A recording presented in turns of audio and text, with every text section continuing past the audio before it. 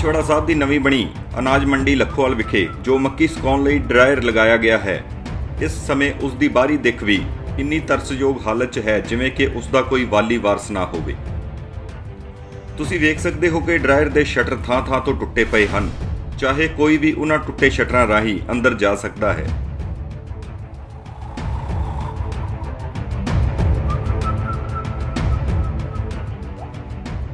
Dryer ਦੇ ਛਿਪਦੇ ਪਾਸੇ ਇੱਕ ਸ਼ੈੱਡ ਹੈ, ਜੋ ਆਵਾਰਾ ਪਸ਼ੂਆਂ ਦੇ ਮਲ ਮੂਤਰ ਨਾਲ ਹੀ ਭਰਿਆ ਪਿਆ ਹੈ ਅਤੇ ਸ਼ਟਰਾਂ ਦੇ ਨਾਲ-ਨਾਲ ਹੋਰ ਵੀ ਬਾਹਰੀ ਚੀਜ਼ਾਂ ਕਈ ਨੁਕਸਾਨੀਆਂ ਹੋਈਆਂ ਹਨ, ਜਿਨ੍ਹਾਂ ਤੇ ਕੋਈ ਗੌਰ ਨਹੀਂ ਕੀਤੀ ਜਾ ਰਹੀ। ਡਰਾਇਰ ਤੇ ਜੋ ਚੌਕੀਦਾਰ ਰੱਖਿਆ ਗਿਆ ਹੈ, ਉਸ ਕੋਲ ਕੋਈ ਕਮਰਾ ਨਹੀਂ ਹੈ ਰਹਿਣ ਨੂੰ। ਉਹ ਵੀ ਆਪਣੇ ਦੋ ਬੱਚਿਆਂ ਸਮੇਤ ਲੈਟਰਿੰਗ 'ਚ ਸੌਂਦਾ ਹੈ।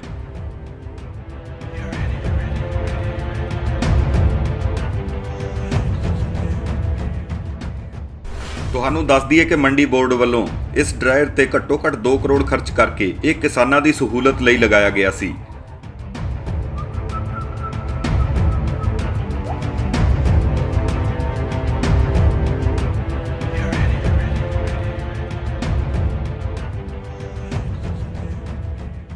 ਖੇੜਾ ਸਾਹਿਬ ਜਿਹੜਾ ਲੱਖੋਵਾਲਾ ਵਾਲੀ ਮੰਡੀ ਦੇ ਵਿੱਚ ਇੱਕ ਮੱਕੀ ਸੁਕਾਉਣ ਵਾਲਾ ਜਿਹੜਾ ਡਰਾਇਰ ਹੈਗਾ ਆ, ਉਹ ਲੱਗਿਆ। ਪਹਿਲਾਂ ਕਹਿੰਦੇ ਵੀ ਉਹ ਕਿਸੇ ਨੂੰ ਠੇਕੇ ਤੇ ਦਿੱਤਾ ਗਿਆ ਸੀਗਾ।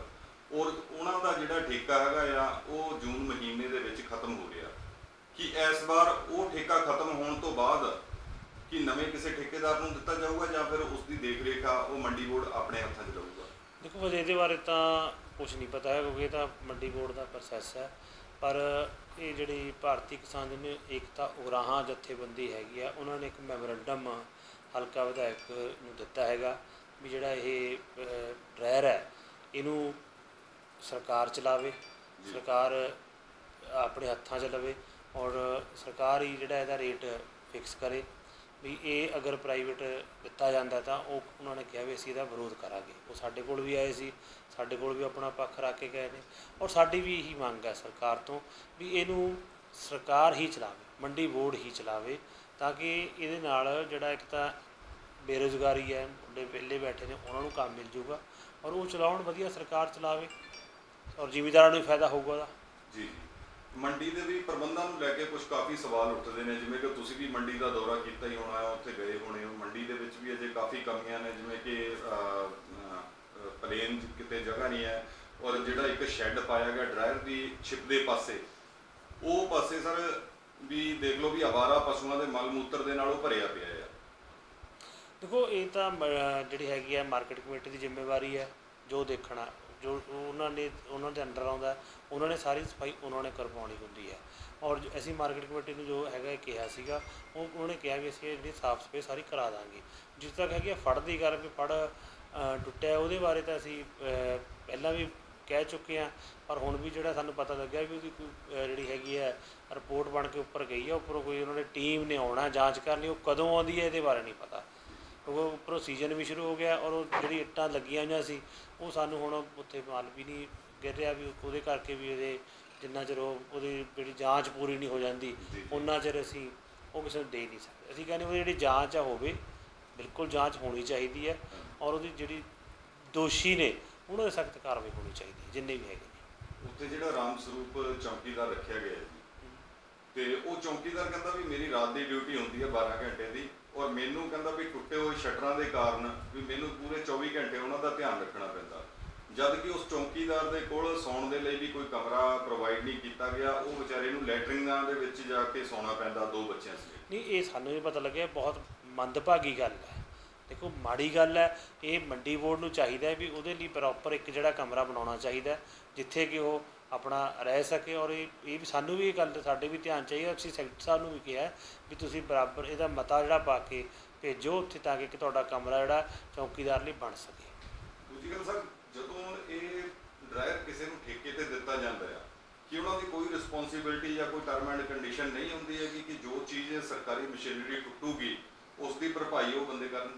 ਬਿਲਕੁਲ ਉਹਦੇ ਚ ਹੈਗਾ ਜੀ ਸਾਰੀਆਂ ਕੰਡੀਸ਼ਨ ਲਿਖੀਆਂ ਜਾਂਦੀਆਂ ਨੇ ਵੀ ਜੇ ਅਗਰ ਕੋਈ ਨੂੰ ਨੁਕਸਾਨ ਪਹੁੰਚਦਾ ਤਾਂ ਉਹਦੀ ਜ਼ਿੰਮੇਵਾਰੀ ਠੇਕੇਦਾਰ ਦੀ ਹੁੰਦੀ ਹੈ। ਔਰ ਜਦ ਤੱਕ ਸਾਨੂੰ ਪਤਾ ਲੱਗਿਆ ਵੀ ਠੇਕੇਦਾਰ ਨੂੰ ਇਹਨਾਂ ਨੇ ਕੋਈ ਨੋਟਿਸ ਵਗੈਰਾ ਭੇਜੇ ਨੇ ਔਰ ਉਹਨਾਂ ਨੇ ਕਿਹਾ ਵੀ ਜੋ ਵੀ ਉਹਦੇ ਉੱਤੇ ਕੋਈ ਪ੍ਰੋਬਲਮ ਹੈਗੀ ਉਹ ਅਸੀਂ ਠੀਕ ਕਰਕੇ ਤਾਂ ਅੱਗੇ ਸਰਕਾਰ ਨੂੰ ਇਹ ਹੈਂਡਓਵਰ ਕਰਾਂਗੇ। ਬਿਲਕੁਲ ਜਿਸ ਤਰ੍ਹਾਂ ਉਹਨਾਂ ਨੇ ਲਿਆ ਸੀ ਉਸੇ ਤਰ੍ਹਾਂ ਬਿਲਕੁਲ ਠੀਕ ਕਰਕੇ ਦੇਣਗੇ। ਜੇ ਅਗਰ ਕੋਈ ਸ਼ਟਰ ਦੀ ਕੋਈ ਪ੍ਰੋਬਲਮ ਹੈ ਇਹ ਉਹਨਾਂ ਨੇ ਭਰੋਸਾ ਦਿਵਾਇਆ ਵੀ ਅਸੀਂ ਉਹ ਠੀਕ ਕਰਕੇ ਦੇਵਾਂਗੇ ਸਰਕਾਰ ਨੂੰ।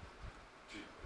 ਤੇ ਤੁਸੀਂ ਸਰ ਕੀ ਅਪੀਲ ਕਰਨਾ ਚਾਹੁੰਦੇ ਹੋ? ਦੇਖੋ ਸਾਡੀ ਤਾਂ ਅਪੀਲ ਕਿਸਾਨਾਂ ਨੂੰ ਇਹੀ ਹੈ ਵੀ ਜਿਹੜਾ ਇੱਕ ਜਿਹੜਾ ਡਰਾਇਰ ਹੈ, ਜੇ ਜੇ ਸਰਕਾਰ ਠੇਕੇ ਤੇ ਵੀ ਲੈਂਦੀ ਹੈ ਤਾਂ ਅਸੀਂ ਤਾਂ ਇਹ ਚਾਹੁੰਦੇ ਵੀ ਕਿਸਾਨ ਅੱਗੇ ਆ ਕੇ ਇਹਨੂੰ ਲੈ ਲੈਣ ਠੇਕੇ ਤੇ, ਵਧੀਆ ਕਿਸਾਨ ਚਲਾਉਣ, ਜਾਂ ਜਿਹੜੇ ਅੱਜ ਕੱਲ੍ਹ ਬੇਰੁਜ਼ਗਾਰ ਮੁੰਡੇ ਬੈਠੇ ਨੇ, ਉਹ ਚਲਾ ਲੈਣ, ਤਾਂ ਵਧੀਆ ਸਾਨੂੰ ਖੁਸ਼ੀ ਹੋਊਗੀ ਇਸ ਗੱਲ ਦੀ।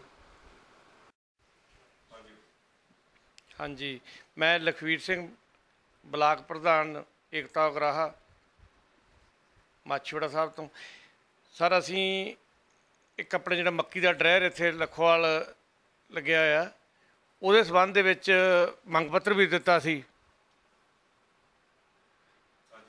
ਅਸੀਂ ਇਹ ਚਾਹੁੰਦੇ ਸੀ ਵੀ ਪਿਛਲੇ 5 ਸਾਲਾਂ ਦੇ ਵਿੱਚ ਜਿਹੜਾ ਉਹ ਡਰਾਇਰ ਮੱਕੀ ਜਿਹੜਾ ਸਕਵਾ ਰਿਹਾ ਸੀ ਠੇਕੇਦਾਰ, ਉਹ ਜ਼ਿਆਦਾਤਰ ਆਪਣਾ ਹੀ ਕਰ ਰਿਹਾ ਸੀ ਤੇ ਜੇ ਕੋਈ ਉਹਦੇ ਗਾਹਕ ਜਾਂ ਆਪਣੇ, ਜਾਂ ਉਹ ਖਰੀਦ ਕੇ ਕਰਵਾ ਰਿਹਾ ਸੀ, ਤਾਂ ਉਹ ਇੱਕ ਇੱਕ ਤਾਂ ਜਿਨ੍ਹਾਂ ਦਾ ਉਹ ਸਕਾਉਂਦੇ ਸੀ, ਉਹਨਾਂ ਤੋਂ ਰੇਟ ਵੀ ਵੱਧ ਲੈ ਜਾਂਦੇ ਸੀ। ਤੇ ਇਹਦੇ ਵਿੱਚ ਸਾਨੂੰ ਇਹ ਦਿੱਕਤ ਆਉਂਦੀ ਵੀ ਕਿ ਨੰਬਰ ਹੀ ਨਹੀਂ ਆਉਂਦਾ। ਵਪਾਰੀ ਨੇ ਤਾਂ ਆਪਣਾ ਹੀ ਦੇਖਣਾ ਹੁੰਦਾ। ਅਸੀਂ ਚਾਹੁੰਦੇ ਹਾਂ ਵੀ ਸਾਡਾ ਜਿਹੜਾ ਜ਼ਿਮੀਂਦਾਰਾਂ ਦਾ ਵਾਸਤੇ ਬਣੀ ਹੈ ਚੀਜ਼ ਤੋਂ ਜ਼ਿਮੀਂਦਾਰਾਂ ਦੇ ਵਿੱਚ ਹੀ ਵਰਤੀ ਜਾਵੇ ਤਾਂ ਉਹਦਾ ਤਾਂ ਕਿ ਕਿਸਾਨਾਂ ਨੂੰ ਫਾਇਦਾ ਹੋ ਸਕੇ।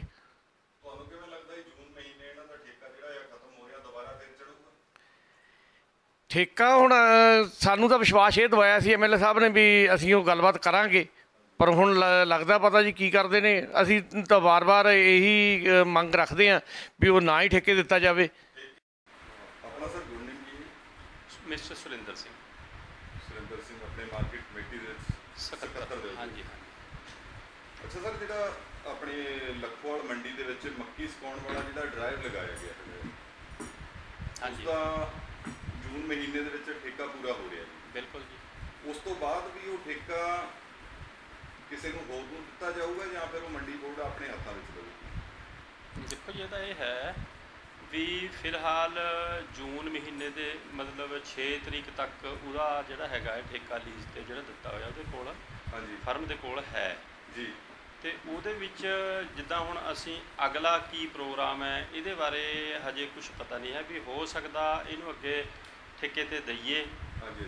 ਕਿਉਂਕਿ ਮੰਡੀ ਬੋਰਡ ਵੱਲੋਂ ਦਿੱਤਾ ਜਾਣਾ ਇਹ। ਜੀ ਜੀ। ਤੇ ਅ, ਅਸੀਂ ਉਹਨਾਂ ਨੂੰ ਮਤਲਬ ਉਹਨਾਂ ਦੇ ਧਿਆਨ ਦੇ ਵਿੱਚ ਜ਼ਰੂਰ ਲਿਆਵਾਂਗੇ ਸਾਡੇ ਸੀਨੀਅਰ ਆਫੀਸਰ ਜਿਹੜੇ ਹੈ ਹਾਂਜੀ। ਉਹਨਾਂ ਦੇ ਧਿਆਨ ਵਿੱਚ ਲਿਆਵਾਂਗੇ ਵੀ ਅ, ਅਸੀਂ ਆਪਣੇ ਵੱਲੋਂ ਉਹਨਾਂ ਨੂੰ ਇਹ ਦੱਸਾਂਗੇ ਵੀ ਇਹ ਇੰਨੀ ਤਰੀਕ ਤੱਕ ਅ, ਜਿਹੜਾ ਹੈਗਾ ਹੈ ਅ, ਇਹ ਠੇਕਾ ਜਿਹੜਾ ਦਿੱਤਾ ਹੋਇਆ ਵੀ ਅੱਗੇ ਕੀ ਵਿਚਾਰ ਹੈ ਵੀ ਮੰਡੀ ਬੋਰਡ ਦੇ ਸੀਨੀਅਰ ਆਫੀਸਰ ਨੇ ਫੈਸਲਾ ਲੈਣਾ।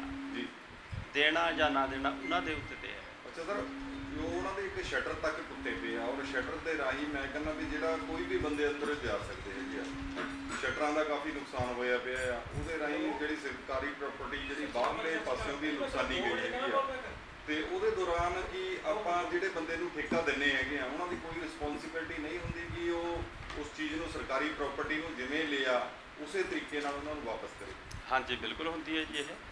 ਵੀ ਜਿਵੇਂ ਸਾਡੀਆਂ ਟਰਮ ਐਂਡ ਕੰਡੀਸ਼ਨ ਦੇ ਵਿੱਚ ਜੋ ਵੀ ਉਹਨਾਂ ਨਾਲ ਤੈਅ ਹੋਈਆਂ ਜਿਹੜੀਆਂ ਹੈਗੀਆਂ ਟਰਮ ਐਂਡ ਕੰਡੀਸ਼ਨ ਉਹਨਾਂ ਸਾਰੀਆਂ ਨੂੰ ਅਸੀਂ ਦੇਖ ਕੇ ਜਿਵੇਂ ਅਸੀਂ ਲਿਆ ਹੈ ਉਹ ਉਹ ਕੰਡੀਸ਼ਨਾਂ ਸਾਰੀਆਂ ਦੇਖ ਕੇ ਉਵੇਂ ਹੀ ਅਸੀਂ ਉਸ ਫਰਮ ਤੋਂ ਅਸੀਂ ਵਾਪਸ ਲਵਾਂਗੇ। ਜਿਹੜਾ ਸਰ ਇੱਕ ਚੌਕੀਦਾਰ ਰੱਖਿਆ ਗਿਆ ਹੈਗਾ ਉਹ ਉਹਦੇ ਕੋਲ ਸੌਣ ਨੂੰ ਵੀ ਕੋਈ ਜਗ੍ਹਾ ਨਹੀਂ ਹੈ ਉਹ ਕਹਿੰਦਾ ਵੀ ਮੇਰੀ 12 ਘੰਟੇ ਰਾਤ ਦੀ ਡਿਊਟੀ ਹੈਗੀ ਆ ਪਰ ਟੁੱਟੇ ਹੋਏ ਸ਼ਟਰ ਕਰਕੇ ਮੈਨੂੰ 24 ਘੰਟੇ ਉੱਧਰ ਧਿਆਨ ਦੇਣਾ ਪੈਂਦਾ। ਦੋ ਬੱਚਿਆਂ ਸਮੇਤ ਉਹ ਲੈਟਰਿੰਗ ਦੇ ਵਿੱਚ ਸੌਂਦਾ ਹੈ। ਦੇਖੋ ਸਰ ਇਹ ਹੈ ਵੀ ਇਹਦੇ ਵਿੱਚ ਜਿੱਦਾਂ ਚੌਕੀਦਾਰ ਰੱਖਿਆ ਹੋਇਆ ਇਹ ਫਰਮ ਨੇ ਆਪਣੇ ਤੌਰ ਤੇ ਹੀ ਰੱਖਿਆ ਹੋਇਆ ਉਸ ਨੂੰ ਜੀ। ਤੇ ਕਿਉਂਕਿ ਇਹ ਅਸੀਂ ਪੂਰਾ ਹੈਂਡਓਵਰ ਉਹਨਾਂ ਨੂੰ ਅਸੀਂ 5 ਸਾਲਾਂ ਲਈ ਕਰਾਇਆ ਹੋਇਆ ਉਹਦੀ ਦੇਖ ਰੇਖ ਉਹਦੀ ਜੋ ਵੀ ਹੈ ਉਹ ਕਰਨੀ ਹੈ ਉਹ ਸਾਰਾ ਉਸ ਫਰਮ ਦੀ ਜ਼ਿੰਮੇਵਾਰੀ ਹੈ। ਜੀ। ਤੇ ਇਸ ਕਰਕੇ ਅਸੀਂ ਉਹਨਾਂ ਦੇ ਕੰਮ ਦੇ ਵਿੱਚ 5 ਸਾਲ ਤੱਕ ਤਾਂ ਇੰਟਰਫੇਅਰ ਨਹੀਂ ਕਰ ਸਕਦੇ। ਹਾਂਜੀ। ਹਾਂ ਜਿਹੜਾ ਜੋ ਨੁਕਸਾਨ ਸਾਡਾ ਉਸ ਮੇਜ਼ ਡਰਾਈਵਰ ਦਾ ਹੋਵੇਗਾ ਜੀ। ਤੇ ਅਸੀਂ ਆਪਣਾ ਜਿਹੜਾ ਹਰਜਾਨਾ ਉਹਨਾਂ ਦੀ ਜੋ ਵੀ ਇੱਥੋਂ ਸਾਡੇ ਕੋਲੋਂ ਸਾਡੇ ਕੋਲ ਸਿਕਿਉਰਿਟੀ ਵਗੈਰਾ ਜਿਹੜੀ ਅਨਸਟ ਮਨੀ ਜਮ੍ਹਾਂ ਹੋਈ ਵੀ ਹੈ ਅਸੀਂ ਉਹਨਾਂ ਦੇ ਵਿੱਚੋਂ ਅਜਿਹਾ ਕੋਈ ਨੁਕਸਾਨ ਹੋਏਗਾ ਤਾਂ ਅਸੀਂ ਲੈਣ ਸਮੇਂ ਉਹ ਸਾਰਾ ਪੂਰਾ ਕਰ ਲਵਾਂਗੇ।